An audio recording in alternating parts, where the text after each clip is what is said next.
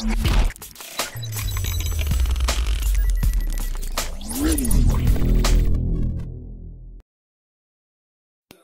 Friends ரெண்டாயிரத்தி ஒம்போதில் இலங்கை அணி வீரர்கள் பாகிஸ்தானில் போய் போட்டியில் கலந்துக்கிறதுக்காண்டி பாகிஸ்தான் போனாங்க. அப்போ தீவிரவாதிகள் இலங்கை அணி வீரர்கள் மேலே தாக்குதல் நடத்தினாங்க.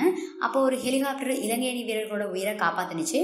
அதுக்கப்புறம் எந்த ஒரு நாடுமே பாகிஸ்தானில் போய் போட்டியிடுறதே நிப்பாட்டிட்டாங்க.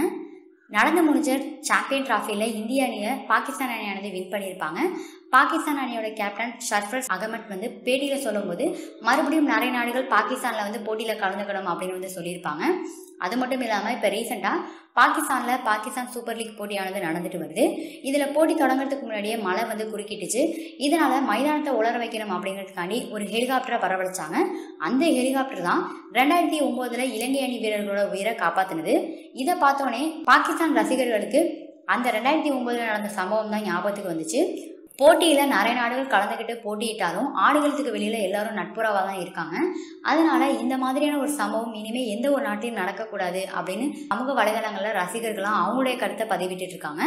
இந்த வீடியோ உங்களுக்கு பிடிச்சா லைக் பண்ணுங்கள் ஷேர் பண்ணுங்கள் நம்ம சேனலை சப்ஸ்கிரைப் பண்ணுங்கள்